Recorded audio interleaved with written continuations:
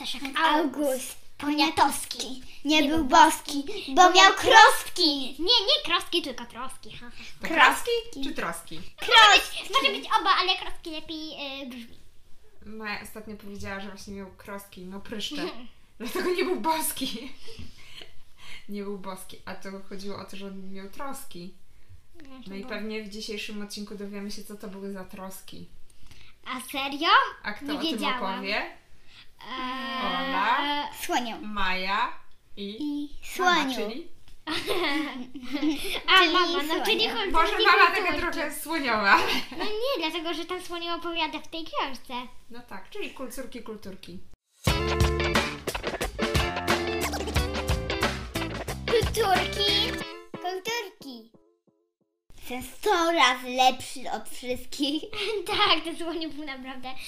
Mamusi, powiem Ci, y, w, ty, w tym, tym bohaterowie jak dla mnie byli troszeczkę y, porąbani. Ale może powiedzmy najpierw, o jakiej książce dzisiaj porozmawiamy. Stasiu! Co Ty robisz?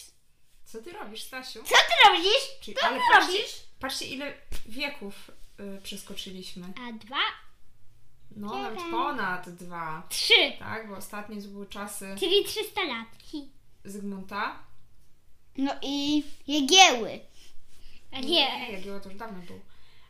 Ale ostatnio były czasy Zygmuntów. A teraz jesteśmy już w czasach Stanisława Augusta Poniatowskiego. To były bardzo ciekawe czasy. Opowiada Słoniu, tak? tak, czyli tamten, tamten. Powiedzcie, jakie jest pytanie w ogóle, z jakim się wybierają do przyszłości. Czyli oni chcą rozwiązać, kto je, kto był jakby winny rozbiorom. Aha, czyli co się stało, że Katarzyna. Polska zniknęła z mapy? Tak, to. Katarzyna. Durna Katarzyna. I jeszcze szlachta, no i jeszcze ten Staszek i to wszystko. Ale to opowiedzcie od początku. No to był sobie taki król, też nazywał Staszek August Poniatowski, no i, i no i oni tam i tam chyba wtedy jakby nie było przez chwilę króla i oni tam mieli wybrać króla i Wybrali tylko Staszkę. nie, Maja może mi pomogło, pomoże. To oni mówili, że oni tam wybrali tylko Staszka Poniatowskiego. No A nie, nie, nie, to było tak, yy, że on jakby się zakochał w tamtej Katarzynie, ona była jakby taką królową Rosji, Carycą. tak, i tamten jej, i tamten jej drugi mąż zmarł, Co to jest I- caryca? Caryca to jest y, odpowiednik cara. A car to taki, no po rosyjsku taki król.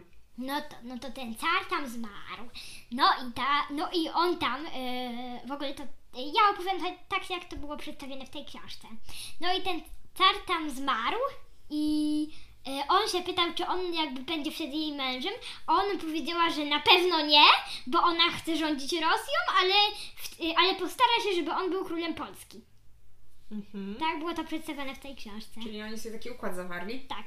Troszkę. Tylko, że ten Staszek ciągle się jej słuchał, a ona nie chciała, żeby Polska była mocna i wszystkie rzeczy, które on chciał fajnie ustanowić, no to on nie, słabo myślisz, nie, słabo robisz. Było taki kawałek, że na przykład wujowie mówią do Staszka,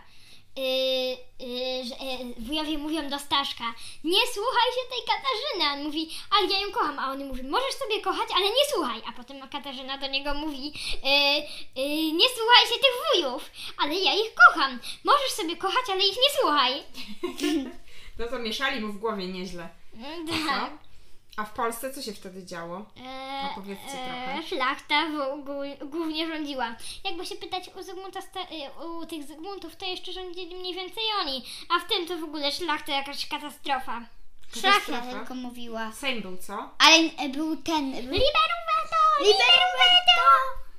Oni ciągle tam mówili liberum Tak, krzyczeli cały czas liberum veto. Na ulicach. Liberum veto! Liberum veto! Liberum veto. wszystkie reformy, Tak. które nawet Staszek jak chciał wprowadzać, to A to nie była ta opcji. pierwsza wojna światowa, kiedy... To już później, później mają. To Jak? jest koniec XVIII wieku, to o czym teraz mówimy. Czyli 1700 któreś lata. Czyli potem... A. Ja wiedziałam! Ja Czyli to nie wiedziałam jest w na tych początku. czasach, Mamo, ja już wiedziałam na początku papier książki. toaletowy. Ja już wiedziałam na Nie. początku książki, że ta Katarzyna wykręci mu taki numer. Tak? Tak, ona zawsze wykręca takie durne numery. Katarzyna? A skąd znałaś Katarzynę wcześniej? A nie wiem. Nie wiesz. No to powiedzcie jeszcze, co ten Staszek, czym on tam zasłynął? Co takiego, jakie były historie o Staszku i w ogóle co Słoniu tam robił? Yy, że, Miał urodziny mieć. że on miał mieć urodziny i chciał, żeby dostać taki rower też. Czy taki ten. No, i- ale on, on nie miał kogo zaprosić na urodziny. A co, nikt go nie lubi? Nie, bo on nie miał kolegów, dlatego że on uważał wszystkie, y, siebie za lepszego i miał tatę dyrektora i wszystkim ciągle dogryzał. I co, nikt nawet nie chciał przyjść do niego na urodziny? Nie, bo on nikomu nie powiedział, że on ma urodziny. On nikomu nie powiedział. Mhm. No i co on tam robił w tych czasach, w tym XVIII wieku? No i oni mieli to tam posprawdzać, więc wybrali się tam. No i on musiał podróżować z tą Zuzką, Aleksem, y, Grubym i, y, i, y, i Jolką, ale on No. i uważał, i, bo tak naprawdę no to on uważał tylko siebie za super, a resztę, a resztę uważał, że jakieś po prostu... Maja? No, no i tam jak był ten Staszek Poniatowski, no i ja bym chciała powiedzieć, że jakby mm, on ci wujkowie dali mu bardzo dużo pieniędzy, Serio? no, Jego rodzice chyba. wujkowie też mu dali. Mhm. Dali mu dużo pieniędzy i co? Mm, On pojechał do tej Polski, ale ta Katarzyna tak chciała, ale, mm, ale tak samo ona według mnie chciała, że ona jakby to, tego go zrobić, żeby, tak, żeby tak zabrać Polskę, żeby Rosja była większa. Mamo, jak dla mnie ona robiła to tak specjalnie chciała go tak wybrać, dała mu tam dużo pieniędzy, żeby tam powpłatać różne rzeczy, żeby potem mogła sobie zabrać.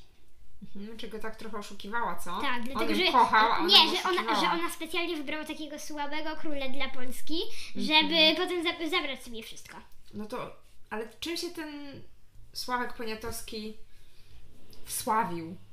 W sensie, co on zrobił takiego dla Polski, dlaczego Nic. go pamiętamy? Nic. Nie, zrobił jednak coś, Nie co, wiem. po czym go pamiętamy. Konstytucja 3 maja? Za jego czasów, tak. Konstytucja 3 A maja. co to znaczy? Bo ja nie znam się. No, nie było w książce? Nie, nie było. Czyli co to Chyba było za nawet była konstytucja? cały rozdział o tym, kiedy oni to ustanawiali, ale ja z moją już chyba nie pamiętamy. Ale, Czyli ale, to miał być już, już to miał być taki dokument, który wprowadzi w Polsce głębokie reformy, tak? Ledwo to się mu się udało przez liberum veto. No właśnie, czyli y, udało się. Mówiłam, że szlachta była dumna. ale wtedy było ciągle liberum veto. Bo No nie i to był lubię taki czegoś. dokument, którym mie- miano w końcu wprowadzić, jakby szlachta też się zgadzała na to, że będziemy reformować Polskę, tak? Czyli że będą wprowadzane różne zmiany w Polsce, Albo na przykład a przede wszystkim, że jakby Zasadźmy odrodzi się państwo polskie. więcej pomidorów. Liberum państwo- bo nie lubię pomidorów. Że państwo polskie będzie ważne znowu, w sensie, że, że już nie tak, że każdy gra na siebie, tak? No bo ta szlachta trochę było tak, że każdy grał na siebie, tak? Że nie grali jak jedna drużyna. No a ta konstytucja to był taki dokument, który nagle powiedział, chcemy grać jako jedna drużyna, jako Polska. A powiedzieć Ci mamo, że na, naprawdę no, to też połowy te rozbiory były pod, dlatego, mm, że potem było o tym, że było takie parę osób ze szlachty i się, i mi się to bardzo nie podobało. W tej książce to było tak przedstawione. Oni pojechali do tej królowej Katarzyny i się, i się, z, nią narad, i się z nią naradzili i ją prosili, żeby ona coś z tym zrobiła. I ona ustanowiła rozbiory. Hi. A kto w te, te rozbiory się dogadał? No jeszcze d- dwa kraje. Chyba Niemcy? No, Prusy? O właśnie, nazywali się wtedy Prusy. Pamiętacie? W ostatnim odcinku rozmawialiśmy o Prusach. E, Ja się pytała. Wtedy to były Prusy. Mhm. No i no ich jeszcze Niemcy to jest chyba... Nie. A ten trzeci kraj? Pamiętacie? E, Austria. Austria. Austria, dokładnie. Na na na na na na na na na na na co? No bo to tak jak w wojnie światowej, że tam było w pierwszej. Jak to do wojny to jeszcze daleko. No ale, ale tak samo wszystkie te kraje, które potem były. No też walczyły, to prawda. To jest dziwne, podejrzane. Podejrzane. Podejrzane. No, bo zauważcie, oni byli w dwóch wojnach z nami. Mhm. Może mają coś do nas. A pamiętacie, że Staszek to też on był taki zaangażowany w kulturę. A no coś o tym było. A wiecie, co to są obiady czwartkowe, które on organizował? Co? Było tam czy nie? Nie. Nie? Nie? No, na co? Czwartki organizował takie obiadki Takie z duże. różnymi przedstawicielami sztuki. No a on był taki gruby. czwartek? No może od tego się wziął tłusty czwartek, nie wiem. Może jedli tam pączki. Zasadniczo nie. On był taki Ale gruby, on że chyba prawdopodobnie jadł y, pączki. Dużo pączków. On był Nie taki był aż gruby. taki gruby. No tak wyglądał. Nie, nie był aż taki gruby. On był podobno przystojny dosyć. Nie, on w ogóle tak nie wyglądał. Na zdjęciach wygląda jak jakiś dziwak. Bliżej podobny mu do kaczki. Do kaczki. Nie. No to powiedzcie mi, co jeszcze ten słonie tam y, z tymi kolegami się dowiedział o Polsce. Mm, To nie byli jego koledzy, No przypomnę. to z, znajomi z, z klasy. Niech będzie. Ale na samym końcu oni jakby się stali jego trochę kolegami, dlatego że w- oni wszyscy poszli na jego urodziny. O, no to co się tam wydarzyło, że oni poszli na jego urodziny? No oni się tam no tak... y, Poprosił ich. Przeżyli razem jakieś ciężkie chwile, czy... No, to może trochę, ale wiesz, to było takie coś, że oni mieli, ym, miał iść Alex i miał iść e, jakby ym, Słoniu? st- e, słoniu, żeby zobaczyć, e, znaczy to jak jest u tego króla i oni weszli do zamku, ale ta ochrona gamy jakby potrafiła im dawać jakie, jakie im się chciało stroje. I, mm, sta- I ten słoń wziął taki strój szlachty, a Mm, I to było tak, że oni poszli i tam był taki pewien pan, zanim on się przebrał za szlachtę, no to normalnie był w takich ciuchach i tam był taki pan, który poprosił ich o pomoc w, do tego, żeby, mm, żeby pomóc w takim kopaniu różnych tam rzeczy i kominu robienia coś tam. I a ten, a ten a ten słoniu sam poszedł eksplorować i zostawił tam tego Aleksa, żeby on sam naprawił ten komin.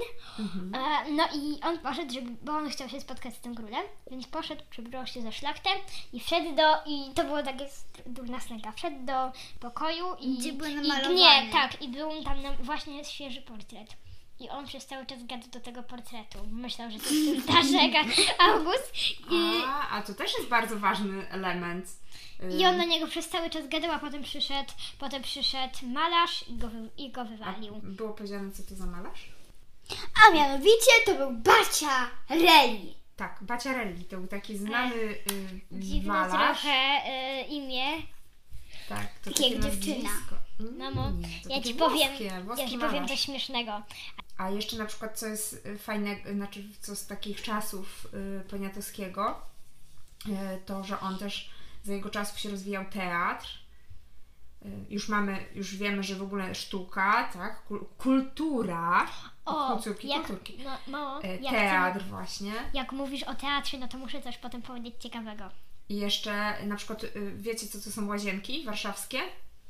Eee, Nie. łazienki. Tak. Chyba lepiej nie wspominać o takich sprawach w naszych kulturkach. To nie najlepszy pomysł. E, tam bo- on No, ale- sikał. Właśnie o tych sprawach można wspomnieć, bo łazienki. Tam sikał. To jest pałac, w- który jest w A, Warszawie. e, Słabo go nazwali, I mogli on nazwać właśnie pałac. I tam też- on sikał. Pewnie też toaleta jakaś była. Ale on się nazywał właśnie A czemu Pałacem to się Łazienkowskim. A czemu E, to się nazywa i- łazienki? Powiem Ci, że nie wiem, musimy sprawdzić. Lepiej już, jakby, lepiej już jakby nazwali śmietniki. Ale on- ten pałac jest bardzo piękny. Jest położony w bardzo ładnym miejscu też. No dobrze, że to nie no bo, bo ja sobie najpierw wyobraziłam, że to są same to i to i obok siebie. Nie, zdecydowanie to nie są to i to i obok siebie. Jak pojedziemy do Warszawy, to mam nadzieję, że odwiedzimy łazienki, bo tam jest naprawdę bardzo ładnie. I jest też pomnik Chopina. Przepraszam, mamo, ale ja muszę się poświęcić. Tak. Łazienki. No takie łazienki jak A wiecie w też domu. takie, tak jak, jak był właśnie Stanisław August Poniatowski to, i on tak wspierał kulturę. Wiecie się, jak się nazywa takiego kogoś, kto tak wspiera kulturę? Jak? Mecenas kultury. Mecenas! Eee, Mecenas! a wspierał Mecenas. Akademię Krakowską. No nie, no nie. W Warszawie. czyli nie był podobny do- była w Warszawie. Nie był podobny do jednego. I on rozwijał Warszawę. Yy, właśnie na przykład budując, yy, budując łazienki, I on miał tak dużo teatry, tutaj wspierając sztuki. pryszczy. nie, nie miał akurat.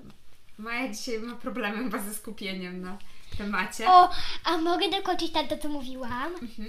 No, no to potem no, najśmieszniejsze było to, że jak on szedł i oni się spotkali, no to okazało się, że Alek miał dużo większe szczęście, bo on nie poszedł, nie wywinął się od pracy, naprawił ten komin, był cały w sadzy, ale on spotkał tego, tego Króla. króla, dlatego że on akurat przechodził i zobaczyć jak idzie, jak idzie ten.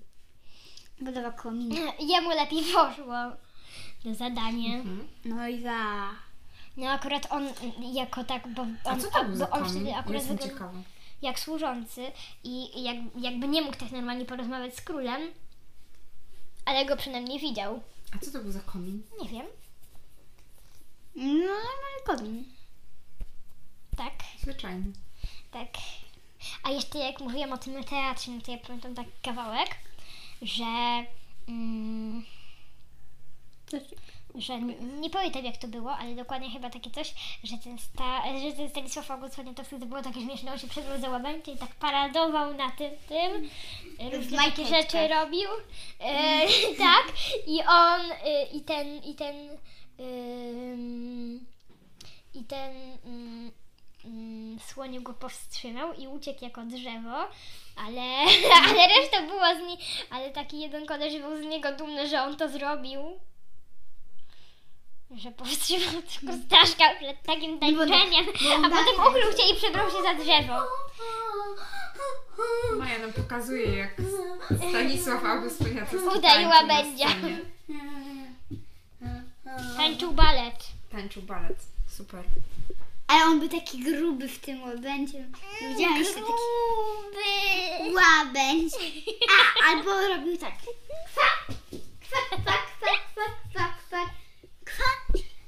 Maja, Dobrze, to- dziewczyny, powiedzcie, Wiesz, co się wam się, Maja myli, bo kaczki robią powiedzcie, co wam się podobało najbardziej w tej części. Dużo rzeczy. Ale fajne też było to, że właśnie ten słoń opowiadał, co zawsze mówiono o tym słoniu tak no, no nie najmilej. Oprócz, bo była taka dziewczyna, akurat nazywa się tak jak ja, Ola. No i ona zawsze broniła tego słonia. O, Ona ona uważa, lubi słonie. bo ona uważała, że w głębi on jest dobrym człowiekiem. Nawet jeśli on często ją, ją oskarżał o złe rzeczy, no to i tak i tak uważała, że jest dobrym człowiekiem. Wcale, że nie był. On był zdrajcą. Jednym wielkim. Maju, co się tobie najbardziej podobało w tej książce? To, że słoń do, omal, e, e, gadał do obrazu. Do obrazu, że gadał? Bo gadał, no gadał. No. No gadał, gadał. Komu polecacie tą książkę? I... Moim mm, koleżankom. A ja polecam wszystkim. hi, hi. No, chyba tak jak wszystkie części, prawda? Z serii, ale historia. No, w tych o- w odcinkach zawsze mówimy dla wszystkich, bo nigdy nie dedykujemy różnym osobom. No nie, ale mówimy do od jakiego wieku. No. Ale tu, tu chyba tak jak cała seria, prawda? Tak, to tak od mm, wszystkie dzieci by mogły. To Od się niektórym bardzo spodoba. Roku do 100 lat. E, nie powiedziałabym Maja. Ja tak nie Nie mówię, że dla wszystkich, także dla dzieci takich ciekawych tego. Tak. Ale również takie ciekawe z historii, różnych też dat. Bo tutaj fajnie jakby też opowiadają, jak, jak w różnych takich e, fajnych bajkach, mm, może historiach, his, e, ba, e, opowieściach, jest przedstawiona też historia, można się du, e, dużo rzeczy dowiedzieć, tak jak z traperów z nad Wisły. Dokładnie tak, dokładnie Dużo tak. dat też. No. Ciekawych rzeczy. No to kto w końcu był odpowiedzialny za rozbiory? Eee, eee, Katarzyna. Katarzyna? Szlachta? Szlachta? Szlachta. Szlachta. I kto jeszcze? Staszka August Poniatowski. No i Staszek August Poniatowski. No ale głównie chyba szlachta, co? No, mo- ale mówiliśmy Nie, to samego oni głównie początku. blokowali, prawda? Tak, Te szlachta. wszystkie reformy. Katarzyna. Ale też, że oni, ale No, też, że, Katarzyna. ale też, że w tym opowiadali, opowiadali o tym, nie wiem czy to jest prawda, ale akurat, ale że ta szlachta poszła do tej Katarzyny się poskarżyć. Na kogo? No, na tego Na Staszka. Staszka, bo Staszek chciał reformy przeprowadzać. Tak. No widzicie, Staszek nie I, był taki i, zły. i ona, ta, On i ona chciał coś taka, zmienić. i ona taka, Staszek na, du- na za dużo sobie pozwala. No właśnie. No właśnie. Trzeba ale coś z tym szlachta, zrobić. ale szlachta się nie zgadzała. Więc to chyba jednak głównie szlachta.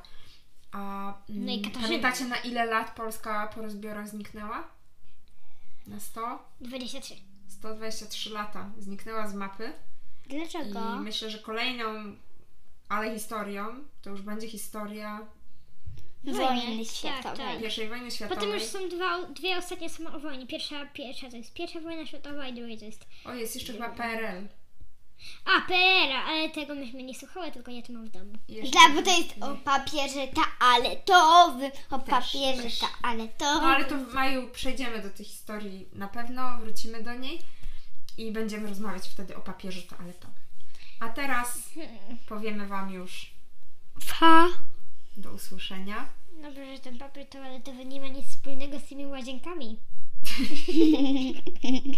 Bardzo dobrze, że nie ma nic wspólnego z Bo to chyba w innym wieku się działo. W zupełnie Nie? innym czasie. A Dokładnie PRL tak. to się kiedy działo? PRL to są czasy po wojnie, e, po wojnie II światowej. No Kiedy i się tak, aż do daleko, daleko, do czasów, kiedy mama była mała. W waszym O! wieku.